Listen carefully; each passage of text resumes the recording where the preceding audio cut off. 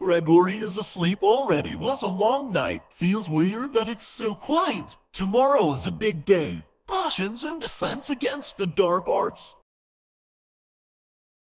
Freddy, I'm going to go to the Great Hall for a bit. Hey, Okay, but Bonnie, please watch out for prefects.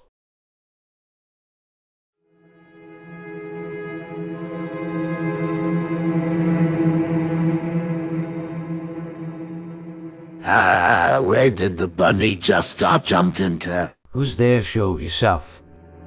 What was that? Since I'm a prefect, I can deduct those points.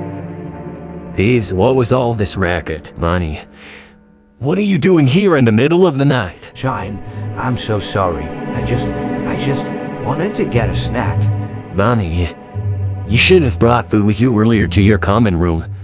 Head back to the common room, Bonnie, and don't make me catch you again, okay? Because if I catch you, I might have to deduct those points.